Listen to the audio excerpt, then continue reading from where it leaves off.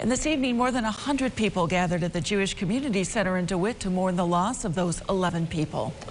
News Channel 9's Josh Martin spoke with members of the JCC and shares their message.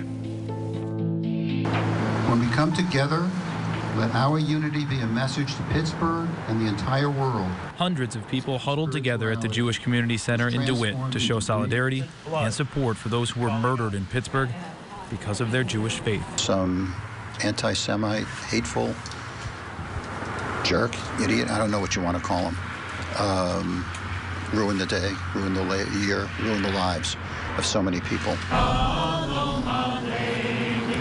And that impact continues to be felt in central New York and beyond as people try and find a way to describe how heartbroken they are.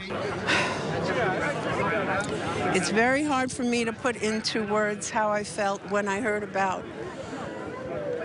the slaughter in Pittsburgh because all Jews around the world feel that same pain. Their lives have ended, but their lights can never be extinguished.